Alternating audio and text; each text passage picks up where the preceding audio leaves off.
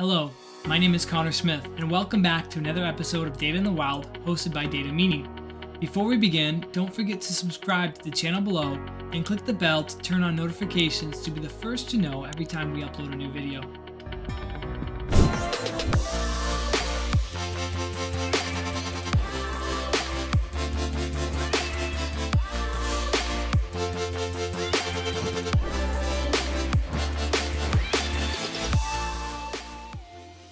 Today we're going to cover how to create your first Alteryx workflow. Let's get started. After opening Alteryx, you'll see the Start Here screen. You can always just click Add New Blank Workflow. And after adding a blank workflow, you'll see a blank canvas here indicating that you should drop some tools here to build. Building your first workflow is as simple as dragging a file from File Explorer. I'll use this month's data here I'll drop it onto the canvas. It'll prompt me for a sheet. I'll choose the data sheet. Press OK. You'll notice a couple of things when building Alteryx workflows. Initially, with any input data file, you'll see a kind of data preview, if you would. But you also see bottom in your results window, there's no data currently available. To get the results window to populate with data, all you have to do is run your workflow. Press run top right hand corner. You'll see that the results window now populates with the data loaded in from your initial file. Next, I'll keep this workflow really simple. We'll just filter on a particular column. In this case, we'll filter on the city column. We can do so by going to this preparation tool palette and adding a filter tool onto the canvas. Once that filter tool has been added, we can select the column we'd like to filter on, in this case city. And then if I click on the input anchor for the filter tool, I can actually take a look at my data right before the filter is applied. And I can say that I want to filter my city equals to Denver or Aurora or Parker. I'll go with Parker because I don't think there's very many Parkers. So I'm going to copy the city from here. Control C. I'm going to paste it over here just so that way the spelling is exactly the same. If you get a typo, obviously you'll have issues. I can now press run. And upon running my workflow, I can still see when I clicked on the input anchor, there's 50 records going into this filter tool. And coming out of the filter tool for Parker, there's only two records. So where this condition is satisfied, all of those records come out to the T output anchor. Okay?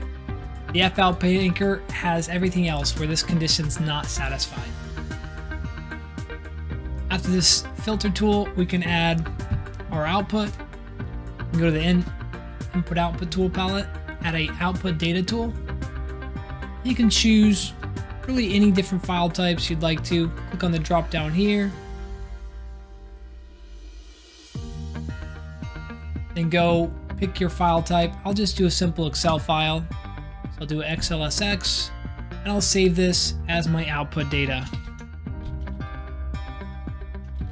I'll even save it as output data demo. Press save here.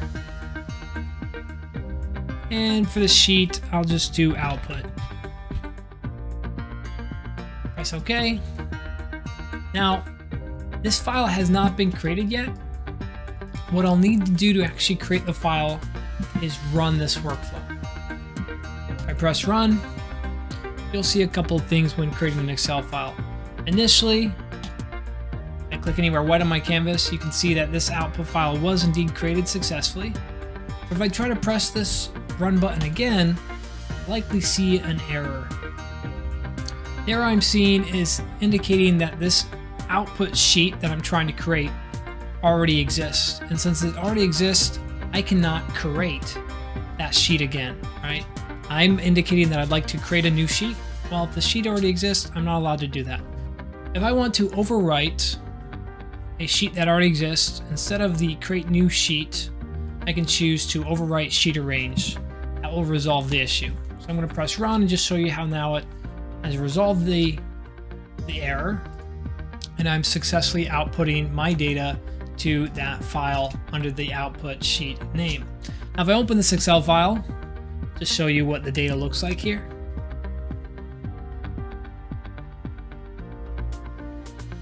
I'll show you one more common issue you may run into. Okay, so here's your output file. You can see it's just those two records that were outputted. Right. If I try to run my workflow while this file is open, likewise receive an error saying unable to open the file. Scroll over to the right here, you'll see that the process cannot access the file because it's being used by another process. Right, so just two common issues you may run into as you're as you're building your own workflows. I'll close that Excel file, press run one more time, and you see that issue has been resolved. So pretty easy setup to build a very, very basic workflow. Um, obviously, we'll want to know how to save, and that's pretty intuitive. You just go into File, Save As, Browse, and then just browse to wherever you'd like to save that workflow. And then name it whatever you'd like to save it as. I'm to do Demo 2 here. Press Save, now I've got a reusable process. Now, if I wanted to, I can quickly update that input file. Click here, and I can browse here to change the input file instead of this month's data. Perhaps I can select next month's data instead. So next month's data, again, will prompt me for the sheet name. Press OK here, press run. Now I'll run through that same process that I built for this month's data, but using next month's data. That wraps up today's quick video on how to build your first Alteryx workflow.